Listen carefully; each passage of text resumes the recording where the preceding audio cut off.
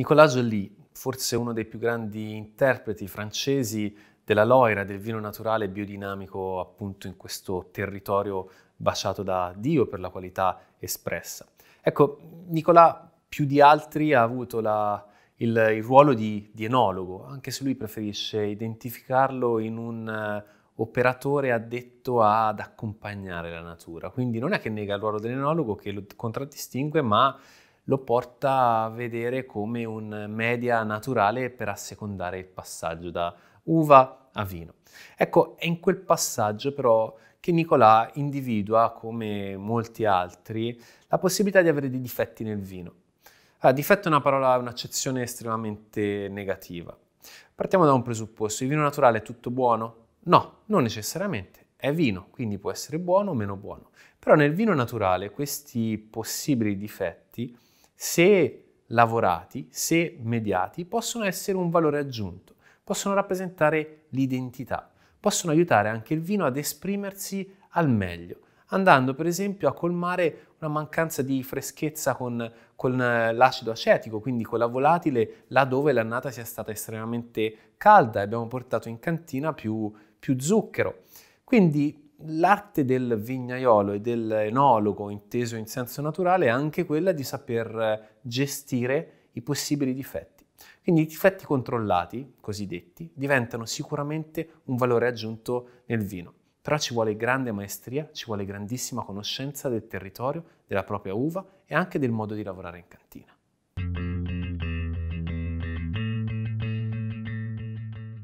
Tra i difetti più conosciuti, più diffusi, c'è il Brett, il cosiddetto Brettaromices, quindi un, un lievito.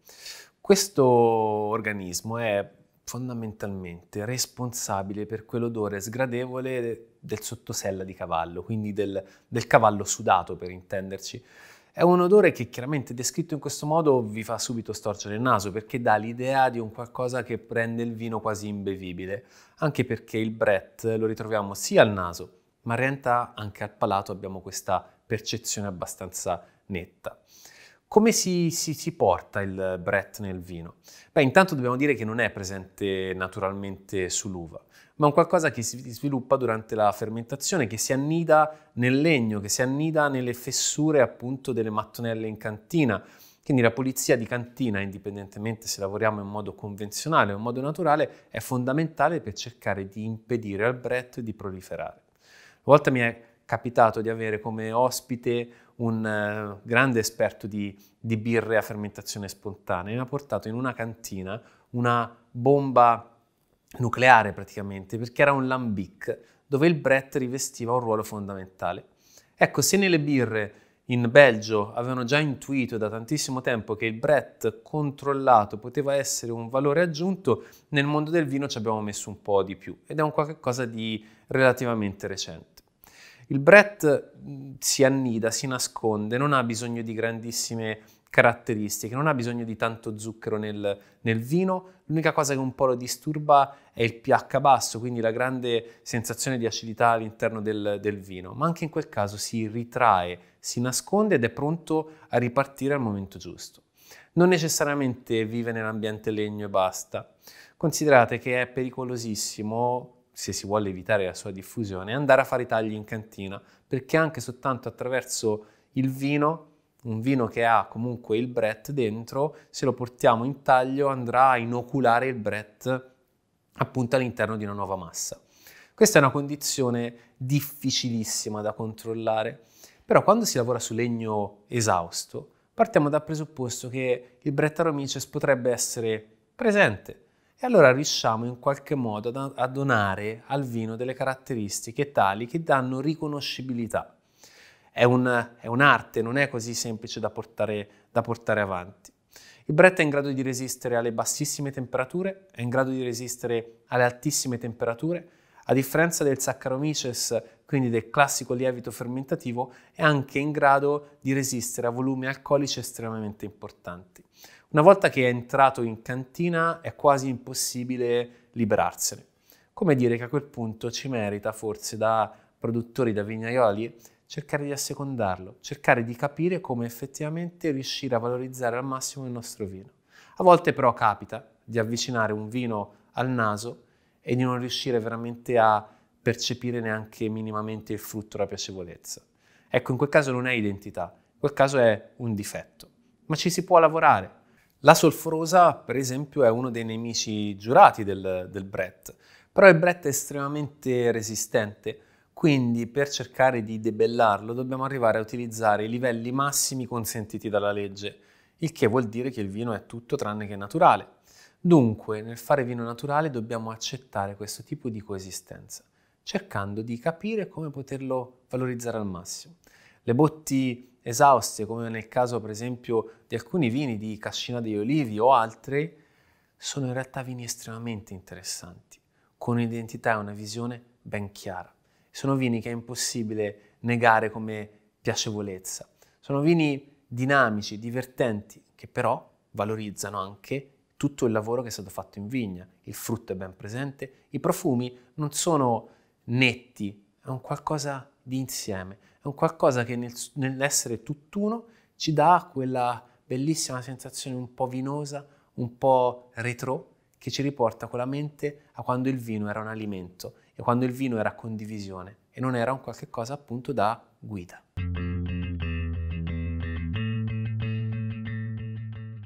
La volatile l'acido acetico, quella che gli americani chiamano VA, un uh, difetto che forse non è un difetto, ancora se ne discute veramente tanto. Il motivo per cui viene definita volatile è che rispetto all'acido malico e l'acido tartarico, che invece sono acidi fissi, attraverso la distillazione lo possiamo effettivamente separare. Dipende dalla fermentazione, quindi è ovvio che in una fermentazione inoculata dei vini convenzionali sarà molto più semplice non, non, averla perché abbiamo una fermentazione controllata. Mentre per quanto riguarda una fermentazione spontanea, che viene appunto indotta da lieviti naturali, naturalmente presenti non solo sull'uva, ma all'interno dell'ambiente cantina, la volatile si può effettivamente produrre. Ci sono anche dei limiti normati di legge per cui non si deve andare sopra un certo livello. Lo avvertiamo con una certa pungenza al naso.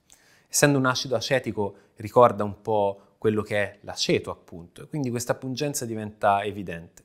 Però può avere anche dei benefici, perché oltre a rendere il vino più fragrante, più croccante, con un frutto più, più piccolo al naso, quindi molto piacevole, anche in bocca ritroviamo questa piacevolezza e spesso e volentieri, se ben dosata, può dare grande freschezza al vino. Quindi in annate più difficili o in territori in cui tendiamo con determinati vitigni a avere vini un po' più, più pesanti, sviluppando volatile siamo in grado anche di dare molto più slancio al vino e diventa un chiaro, passatemi il termine, marchio di fabbrica, cioè diventa un elemento di riconoscibilità molto evidente.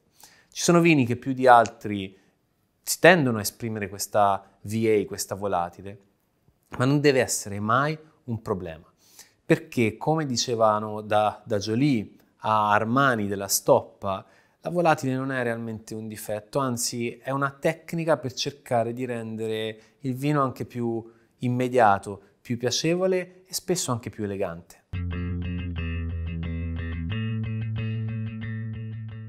Tra i difetti più classici troviamo la riduzione. Riduzione ha a che fare con la mancanza di ossigeno, per intenderci. È quel profumo sgradevole di uova marce o quel profumo che ricorda un po' le, le terme, quindi un po' sulfureo. Può essere una scelta stilistica per una fase del vino, nel senso che il produttore cerca di lavorare quasi in assenza di ossigeno per dare una vita un po' più lunga al vino sull'aspetto organolettico che però vuol dire che una volta che aprite la bottiglia, la versate nel calice, la lasciate areare un pochettino e questo difetto tende a scomparire. Ha bisogno quindi il vino soltanto di tempo e ha bisogno di ossigeno. Ci sono dei casi in cui il difetto è un po' più evidente e allora anche se la funzione del decanter non è legata all'ossigenazione, manderemo a utilizzare una caraffa o un contenitore per cercare di travasare il vino e quindi farlo, farlo entrare a contatto con eh, l'ossigeno. Qualora ancora non bastasse, abbiamo delle tecniche un po' tranchant che però ci aiutano a cercare di ossigenare il vino il più possibile. Il prendere la bottiglia, tapparla e scuoterla in questo modo può essere appunto una grande soluzione. In quel momento il vino si, si muove, l'ossigeno penetra, si apre e quindi riusciamo ad areare molto più velocemente il, il liquido, il succo. Questo dovrebbe risolvere appunto il problema. Se non lo risolve, ecco, la riduzione può diventare effettivamente un qualcosa che limita la piacevolezza della bevuta e la piacevolezza del naso.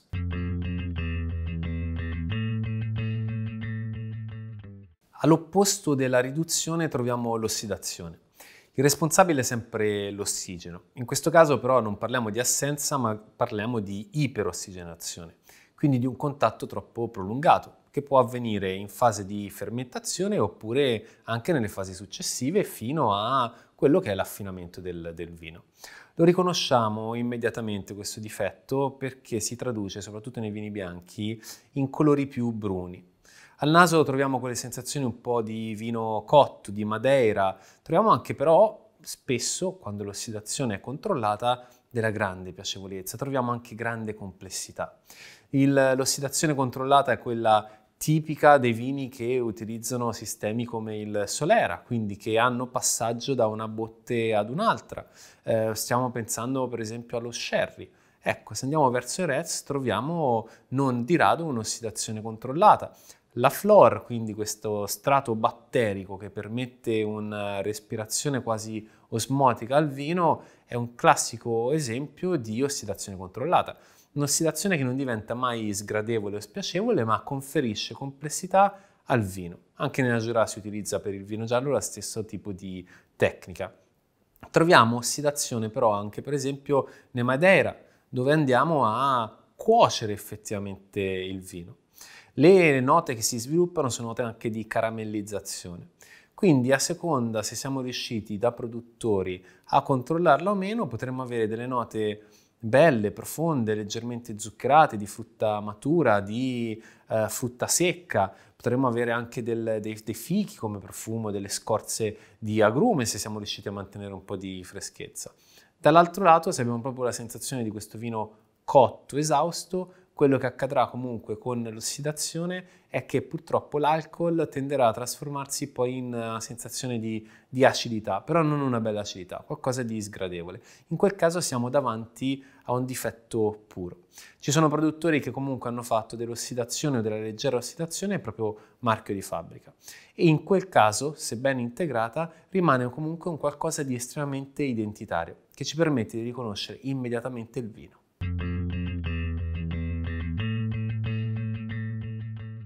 Esistono anche dei difetti che sono difetti, punto. Non creano identità, ma creano semplicemente una sensazione sgradevole, sia al naso che in bocca.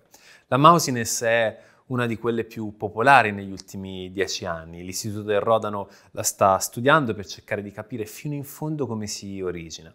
Intanto in ambienti con acidità bassa e pH molto alto e fermentazioni difficili da controllare, si può effettivamente trovare, si può verificare. Mousiness ovviamente viene da, da topo, quindi abbiamo questa sensazione molto sgradevole che si concretizza principalmente al palato, perché è la reazione con la saliva che poi la scatena. Questa sensazione ha un richiamo forte al topo, ma lo possiamo identificare con un sapore, anche con un odore leggermente meno sgradevole, quindi il popcorn. Quando ci troviamo davanti a questo tipo di, di, gusto, di sapore e di profumo, non ci possiamo fare veramente molto. Ora, la Mosines ha questa caratteristica di rimanere al palato per molto tempo e quindi è difficile, dato che è estremamente marcante, riuscire a liberarsene. Dobbiamo a quel punto aspettare 10-15 minuti prima di poterci godere un altro calice di vino. Per questo che oggi è uno di quei difetti che si spera sempre di non incontrare assolutamente perché non abbiamo modo di limitarlo e allo stesso tempo non è mai un valore aggiunto per un vino.